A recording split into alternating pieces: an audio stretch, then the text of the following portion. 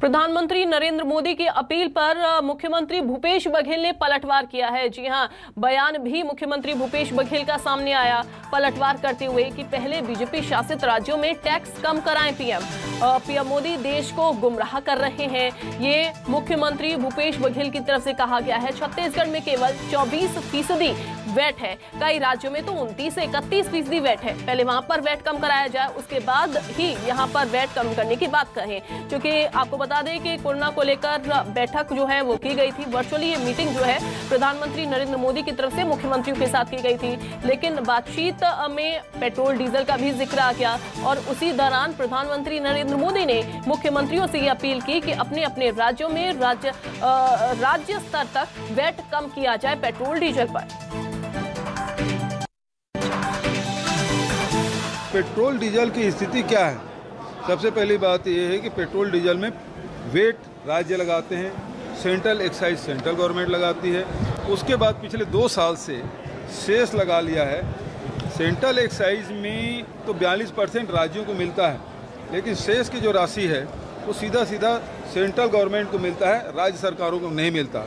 उस समय central excise में उन्होंने चार या पाँच परसेंट कम किया था और बताया कि हमने एक्साइज में कम कर दिया, लेकिन शेष लगा के पूरा पैसा खुद सेंटर में रख लिए। और राज्यों के हक मारा गया उस समय। यदि सेंट्रल एक्साइज में उसको रखते तो राज्यों को बयालीस परसेंट मिलता। दूसरी बात यह है कि बयालीस परसेंट राशि मिल कहाँ रही है? यदि छत्तीसगढ़ की बात करें तो अभी तक के हमारे तीस हज़ार करोड़ रुपया लेनदारी है। भारत सरकार जिसको विधानसभा में अन्य पत्रों के माध्यम से प्रधानमंत्री, वित्त मंत्री हम लोग लिखते रहे, और लगातार कटौती की जा रही है। और जहाँ तक की बात यह है, छत्तीसगढ़ में तेईस से चौबीस परसेंट है। दूसरे राज्यों में तो उनतीस और इकतीस परसेंट तक के वेट वेट टैक्स लगाया जा रहा है। तो अपने शासित राज्यों में वो कम कर ले, या फिर हमारी जो पैसा है, हमारे अधिकार है, उसको दे दे और खुद सेस खत्म करें। रोज रेट बढ़ता है।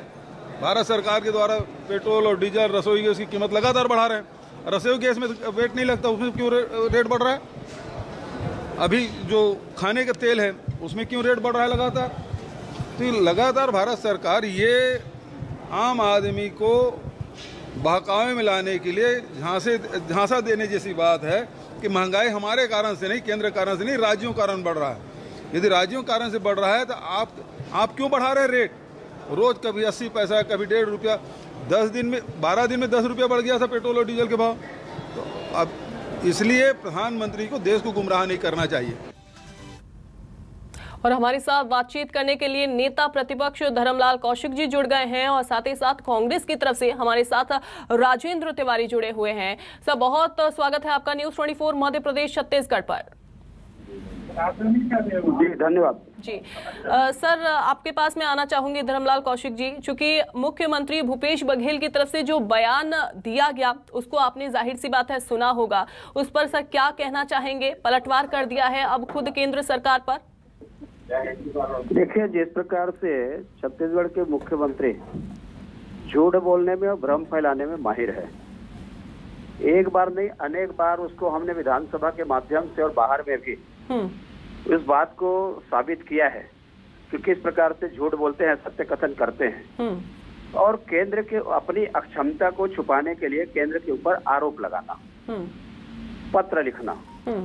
जब प्रधानमंत्री जी यदि आग्रह किए हैं तो केवल कांग्रेस शासित के नहीं है राज्यों को अपने जनता के हित की समीक्षा करनी चाहिए। हम्म। केंद्र ने वेट किया है तो राज्यों को कम करनी चाहिए प्रधानमंत्री जी की अपेक्षा है। हम्म। और इस अपेक्षा में यदि इनको लगता है कि कम किया जा सकता है राहत देनी है तो करनी चाहिए। मुख्य प्रधानमंत्री के ऊपर क्यों आरोप लगा? हम्म आपको बोलना चाहिए कि मुझे वेट पे कम नहीं करना है। मैं और बढ़ाऊँगा। आप बढ़ाओ ना आपको कौन रोक के रखा है। लेकिन आप बचना क्यों चाहते हैं? अपनी जवाबदारी से आप नहीं बच सकते। केंद्र सरकार की भी जवाबदारी है हम्म। राज्य सरकार की जवाबदारी है। और दोनों की जवाबदारी है कि अपने जनता को रिलीफ दे। बिल्कुल बिल्कुल सही कहा आपने। केंद्र सरकार की भी उतनी ज़िम्मेदारी बनती है और साथ ही साथ राज्य सरकार की भी उतनी ही ज़िम्मेदारी बनती है। राजेंद्र तिवारी जी क्या कहेंगे इस पर आप? क्योंकि मुख्यमंत्री भूपेश बघेल ने तो कह दिया लेकिन एक उम्मीद जगी थी प्रधानमंत्री नरेंद्र मोदी के यहाँ पर जो नसीहत दी गई थी जो यहाँ पर अपील की गई थी मुख्यमंत्रियों से। जनता पर जनता पर अब थोड़ी सी राहत दी जाएगी जनता को? क्या लगता है आपको? क्या कहेंगे सर अब आप? छत्तीसगढ़ प्रथम पंक्ति के उन राज्यों में से है जिसके मुख्यमंत्री श्री भूपेश बघेल जी ने घोषणा करके वेट को कम करने का काम किया। हमारे यहाँ मात्र तेईस प्रतिशत है। बगल में राज्य है हमारा मध्य प्रदेश वहाँ पर उनतीस प्रतिशत है। हमारे साथ में राज्य है उड़ीसा वहाँ अट्ठाईस प्रतिशत है। लेकिन छत्तीसगढ़ में भी तो लेकिन छत्तीसगढ़ में भी लेकिन छत्तीसगढ़ में भी तो सर बढ़ रहे हैं ना पेट्रोल डीजल के दाम। जनता बढ़ परेशान रहे हैं। नहीं मेरी बात सुनिए ना वही तो भूपेश बघेल जी ने और माननीय कौशिक जी के प्रति पूरी सद्भावना सम्मान प्रकट करते हुए मैं उनको कहना चाहता हूँ कि कम से कम वो जनता को दिग्भ्रमित करने का काम ना करें। वो सबसे पहले ये बताएँ कि जब यूपीए की सरकार थी उस समय पेट्रोल पर नौ रुपए अड़तालीस पैसे एक्साइज ड्यूटी लगती थी और आजकल नरेंद्र मोदी जी की सरकार के समय में वो सत्ताईस रुपए नब्बे पैसे है। डीजल यूपीए की सरकार के समय तीन रुपए छप्पन पैसे प्रति लीटर एक्साइज ड्यूटी थी। वो नरेंद्र मोदी जी के सरकार में इक्कीस रुपए अस्सी पैसे है। तो माननीय जो भूपेश बघेल जी ने कहा है कि केंद्र की सरकार पूरी तरह से दिग्भ्रमित करने का काम करती है और भारत के प्रधानमंत्री को गलत जानकारी नहीं देनी चाहिए। कौशिक जी दे दें चल जाता है। मैं दे दूँ तो भी एक बार क्षम्य है। मगर भारत के प्रधानमंत्री को मिथ्या वचन नहीं बोलना चाहिए। और छत्तीसगढ़ अग्रणी राज्यों में से है जिसने वेट को घटाने का काम किया। आप कहे तो मैं एक एक आपके पास समय हो तो एक एक राज्य में क्या है वेट की दर और हमारे यहाँ कितनी है? मैं दावे के साथ कह रहा हूँ कि छत्तीसगढ़ सबसे कम वेट लेने वाले राज्यों में से है। हम यहाँ के जनता के प्रति पूरी तरह से मनसा वाचा कर्मणा समर्पित हैं और अपनी ज़िम्मेदारी का निर्वहन कर रहे हैं। क्योंकि हमको मालूम है कि डीजल किसानों के लिए कितना आवश्यक है।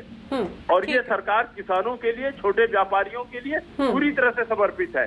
केवल आंकड़े निकाल करके देख लीजिए कि छत्तीसगढ़ की सरकार किस तरह की राहत दे रही है। दूसरे राज्य किस तरह की राहत दे रहे हैं। क्यों सेस लगाया है केंद्र की सरकार ने? और वो सेस की राशि खुद क्यों रखते हैं? छत्तीस राज्यों को वितरित करने का काम क्यों नहीं करते? ठीक है सर। क्योंकि प्रधानमंत्री नरेंद्र मोदी ने जो अपील की मुख्यमंत्रियों से उसके बाद से वार पलटवार का दौर तो हमने देख लिया है। समय की थोड़ी सी कमी है हमारे पास। बहुत शुक्रिया सर आप दोनों का जुड़ने के लिए बातचीत करने के लिए।